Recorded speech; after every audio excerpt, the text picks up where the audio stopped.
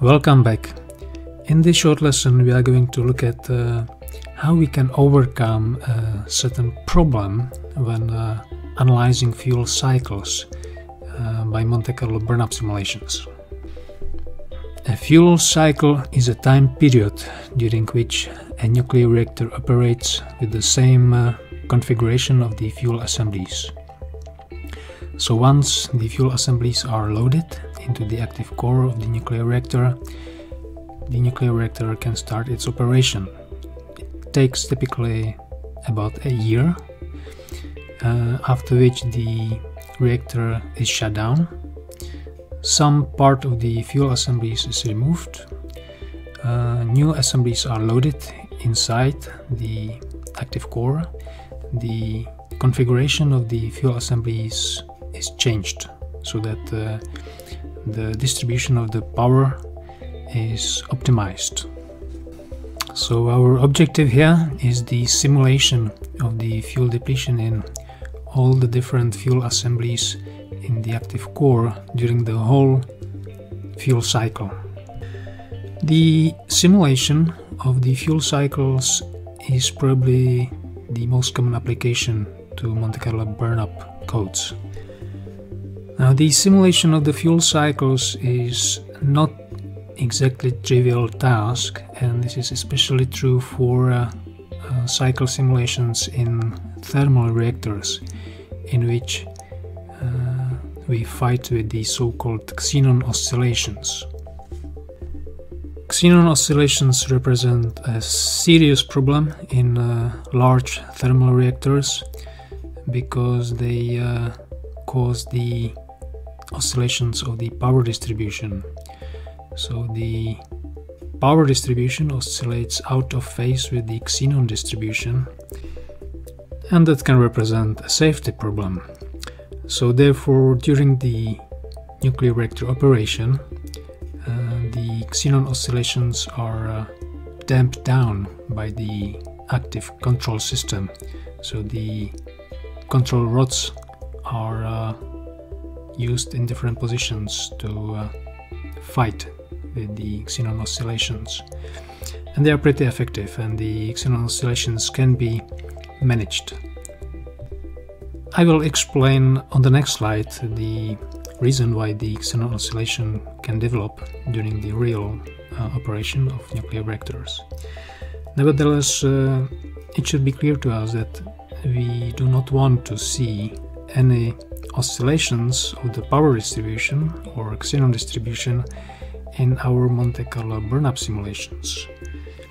That's not because they are not real, they are real, nevertheless they are damped down during the operation of the nuclear reactor. So the operators in the control rooms, when they see that the xenon oscillation starts to develop, they use control rods to damp down the oscillation. However, that would not be very practical for us to program some special logic into the burn-up simulator that would control the position of control rods in different positions in the active core in order to stabilize the xenon oscillation. Uh, so instead what we do, we treat Xenon 135 in some uh, special way. I'm going to explain it later. And we use the stable numerical coupling schemes. When we couple the Monte Carlo solver with the burn-up solver, we have to use stable coupling schemes. I'm going to talk about the stability of different coupling schemes in uh, the next lessons. Uh, I will show you some uh, unstable coupling schemes as well as stable coupling schemes. They all are being used in uh, many Monte Carlo burn-up codes, so uh, you always need to make sure that you are using the appropriate coupling scheme for your uh, simulation. In order to understand the xenon oscillations we need to understand how xenon 135 can be generated in the nuclear reactor and how it can be uh, destroyed. So xenon 135 can be created directly from fission as a fission product. But uh, most of xenon 135 comes from iodine 135 which decays into xenon 135 the half-life of this decay is about uh, six and a half hour. And the iodine 135 originates also from fission actually decays from uh, another fission product but this decay is very fast. So we can just assume that it comes directly from fission. Now xenon 135 can be depleted also in the core uh, by its decay. So it can decay uh, with the half-life of about 9 hours uh, but it also uh, can be removed from the system by transmutation. So it can capture neutrons and it will be transmuted. The microscopic cross-section of xenon 135 for uh, the capture of neutrons is very large. So uh, when the atomic concentration of xenon 135 uh, increases in the reactor it can really affect the power distribution in the core so because the neutrons are captured in uh, xenon 135 during the operation, the power typically shifts to the locations in which the concentration of xenon 135 is smallest in the system. So let's say that uh, our system is a slab uh, reactor and let's say that the concentration of uh, xenon 135 is asymmetric there. Uh, let's say that it looks like this for instance. So because of this the power will shift to the left side of the system. So the power distribution may look something like this right? Now because of this the xenon in this part of the system will start to be depleted faster than here. And that's because of the large microscopic cross-section for the neutron capture on xenon. So it will uh, start to decrease. The concentration of xenon will start to drop. However, at the same time, the iodine 135 will uh, start to be generated at larger rate at this location where the power is released the most. So after some time the distribution of iodine 135 will start to look like this as well. Now the cross-section of iodine 135 for the neutron capture is very small. Nevertheless, the iodine is decaying into xenon 135. Therefore, the concentration of xenon 135 in this location will start, start to increase. Uh, so hour by hour, the concentration of xenon 135 will grow, while in this location will uh, decrease. Why? Because it decays with the half-life of 9 hours and uh, not much xenon is being generated here because the concentration of iodine is very small. So after some time the situation will change a lot. The concentration of xenon 135 will start to look like this. And as a response to that the power distribution will change into this shape. Now the same processes will cause that the power distribution will come back to this uh, shape again. So uh, the oscillation will sustain and the period of this oscillation is about 15 hours. The xenon oscillation can be stabilized by using control rods. So, for instance, when you load the control rods into the location of the highest power, then uh, the power will flatten out. So it, it will become symmetrical in the reactor and this will effectively stop the xenon oscillation. Xenon oscillations can develop only in uh, thermal systems. So uh, if you simulate the fuel cycles in uh, fast reactors, you don't have to worry about uh, xenon oscillations at all. So unless we employ some uh, special procedures to stabilize the xenon oscillations in our burn-up simulations, there will be always a risk that they will develop. And uh, that may be the aim of your uh, simulation. Maybe you want to simulate xenon oscillations. So in this case, you of course do not want to stabilize it artificially. But that, I guess, is a very special case. Most of the time, we are going to uh, want to simulate the fuel cycles under steady state conditions when there are no xenon oscillations in the systems. Now there is a question. If we do not artificially stabilize the xenon distribution in the system, will the xenon oscillation always develop? Not necessarily. It depends on uh, a number of factors. It depends on the system that we are simulating. Uh, so, for instance, if there is only a single fuel material defined in the system, then uh, there is no way uh, in which the xenon could change its spatial distribution because there is just one uh, uh, material defined in the input file. Now, when you define a single fuel material in the system, well, then probably your system is very small, so it's probably a small fragment of a fuel assembly. Probably it's uh, just a small piece of a single fuel rod. So then you don't need to specify many fuel materials in the input file. And uh, of course, nothing can oscillate in such a small system. So then you don't need to worry.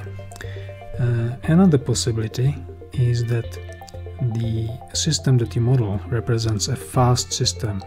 So as we already know, uh, there are no xenon oscillations in the fast systems. So if you run a Monte Carlo burn-up simulation of a fast system, you don't have to worry about xenon oscillations either, and you can employ any coupling schemes which you like.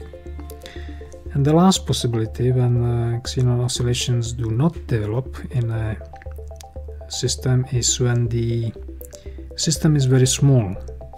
When it has a small dominance ratio, then uh, typically xenon oscillations do not develop there either.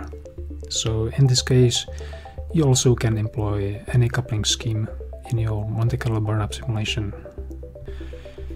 If we want to simulate the fuel cycles in large thermal systems realistically, we have to introduce thousands of fuel materials in the input file.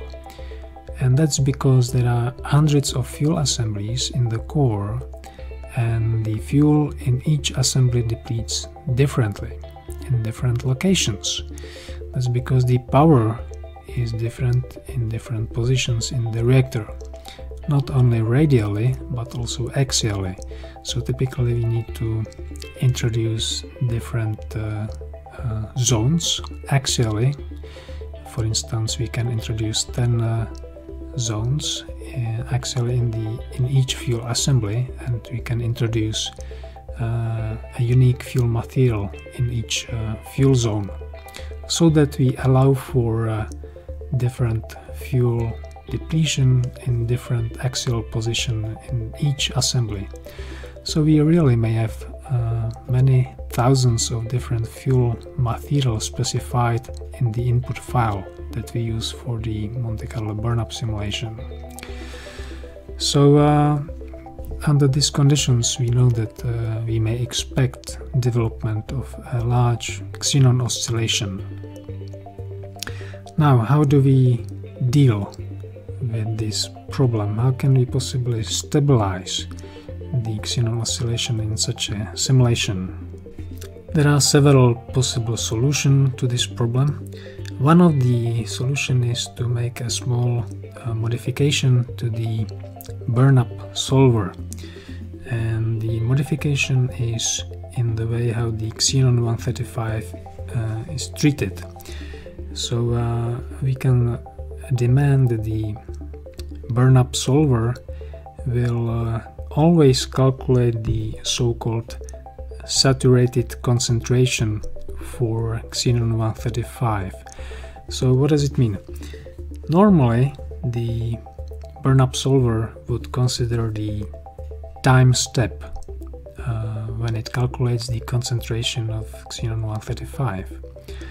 So uh, if the time step was very short, for instance um, several minutes, then uh, xenon 135 would practically be identical to the initial condition, right?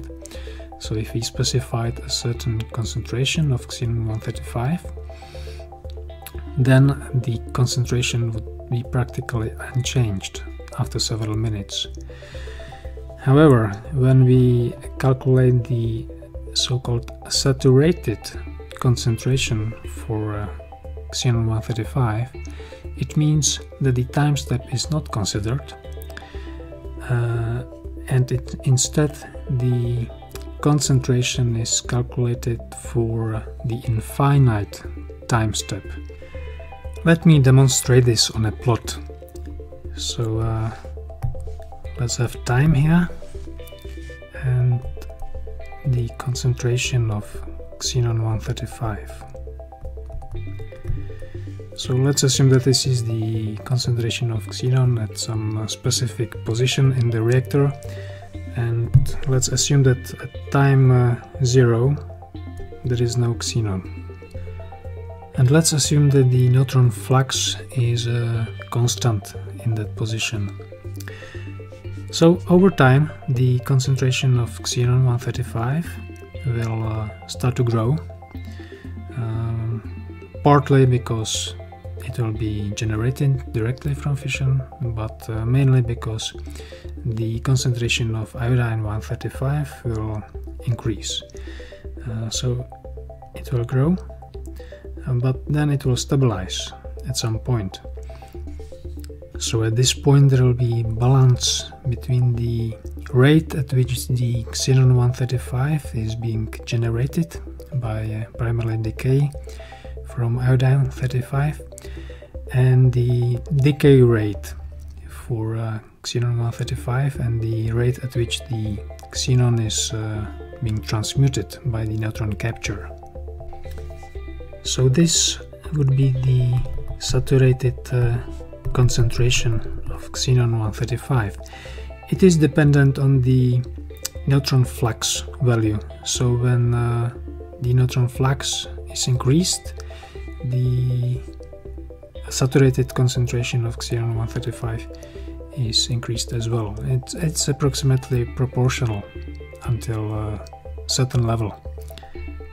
Let's take an example of a slab reactor. Let's say that the power distribution is like this, asymmetrical. So then uh, if we calculated the saturated uh, xenon concentration in the whole space of this uh, slab, then it will be proportional, approximately proportional to the power distribution. So it would look like this uh, as well. It would have the same shape. Now the burn-up solver must consider the time step length when it calculates the atomic concentrations for different nuclides. So the time step is like this, then the concentration for uh, xenon 135 that it would calculate would be here. So the modification we do to the burn-up solver is that we let it to calculate the concentrations of all the nuclides according to the correct time step. The only exception is the concentration of xenon 135 where we are going to demand that uh, it does not consider the time step at all and instead it always calculates the saturated concentration of xenon 135 so it will always return the uh, saturated uh, distribution for xenon 135 which will be similar to the power distribution Unfortunately, this single change to the burn-up solver is not enough to stabilize the burn-up simulations. We also have to make sure that we are using numerically stable coupling schemes when we couple the Monte Carlo solver to the fuel depletion solver. Usually the established Monte Carlo burn-up codes give uh, the user an option to choose from uh, several different uh, coupling schemes between the Monte Carlo and the burn-up solver. And some of these coupling schemes are not necessarily numerically stable. So in the next lessons I'm going to go through a number of different coupling schemes and we are going to analyze the stability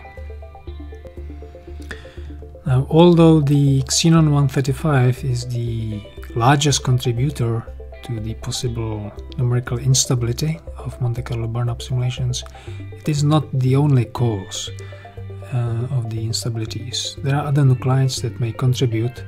Some of the fission products, which also have uh, large cross-sections for uh, neutron capture, uh, may be causing uh, instabilities as well and even uh, the fissile nuclides can uh, contribute to instabilities.